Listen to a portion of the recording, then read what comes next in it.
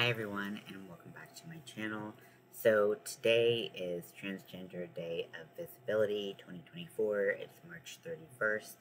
Um, and so Transgender uh, Day of Visibility is all about um, kind of uh, just voicing the concerns of the trans community, um, encouraging um, safety and um, education while also trying to reduce discrimination against those uh, who identify as transgender.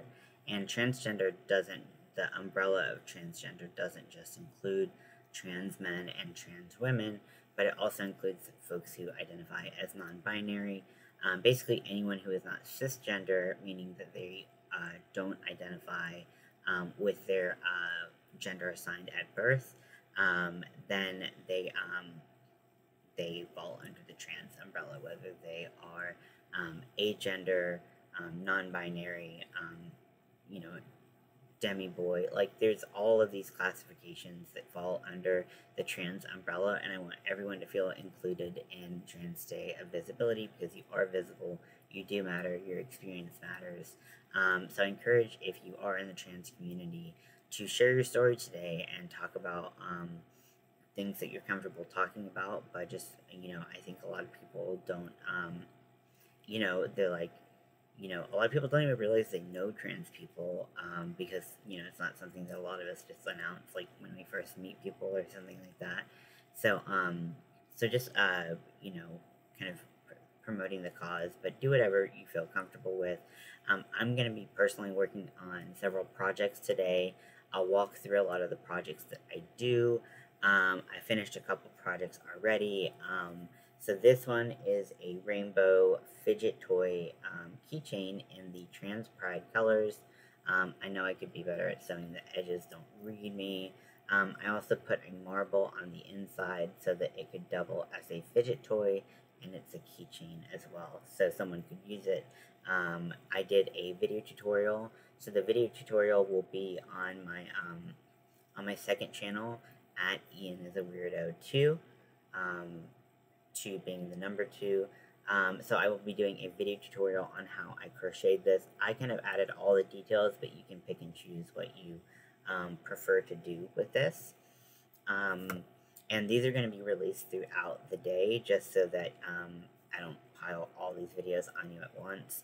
I also talk about my coming out story part of it. You know, it's kind of hard to get into all of the details, and also because I have had some more negative encounters um, or less than positive encounters um, since I've come out as trans. You know, I don't want to call anyone out because maybe they didn't react the way that I perceive as like the right way to react to things. Um, I also made this uh, little trans alien. Um, I'm still like on the fence about the eyes. Like, I'm not sure if I should do like black, um, some black on the eyes or not. But um, this is a pattern that I got um, from the cryptids book that I got from my little sister uh, for Christmas. So it was a very easy pattern to follow and um, very simple. Uh, it's in four parts the head, uh, two arms, and then the body. So it's very cute. I'm very happy with it, and you can make this in any size yarn with uh, a multitude of size hooks. So that is great. And then I also am making a hat. So the hat will be gray all over except for this kind of like prism like streak of um, the uh, trans flag color. So I'm really excited about that and can't wait to see how that looks. These hats do tend to take me a little bit longer than it seems to take everyone else, so that's fine. Um, and I'm also going to try to get some more projects done that I will re- release throughout the day. So if you're interested in any of the projects, and granted, even if you're not um, trans and you want to make um, rainbow things, or you know, this alien can be made in, in any color combination possible. Um, it's very cute, very easy to make, very beginner friendly. Um, and then this hat is also very beginner friendly and can be uh, made in any colors.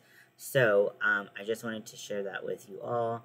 And um, I hope to see you today. Um, if you have any questions about Trans Day Visibility, um, please feel free to drop them in the comments below.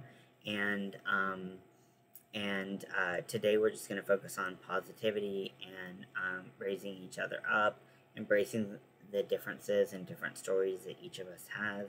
Um, any blatant transphobia with no intention to have a conversation and learn from each other rather than um, change people's minds and uh, shove your own opinions down my throat or the throats of other people um, will not be tolerated. If you don't want to have a conversation like an adult, you won't be treated like one and you'll be kicked out and you get to go to timeout. So um, that's kind of where I'm at today, and uh, I really hope that you all enjoyed the videos that I put together for you. And, um, and yeah, so I hope you have a great Trans Day of Visibility, and I will talk to you later.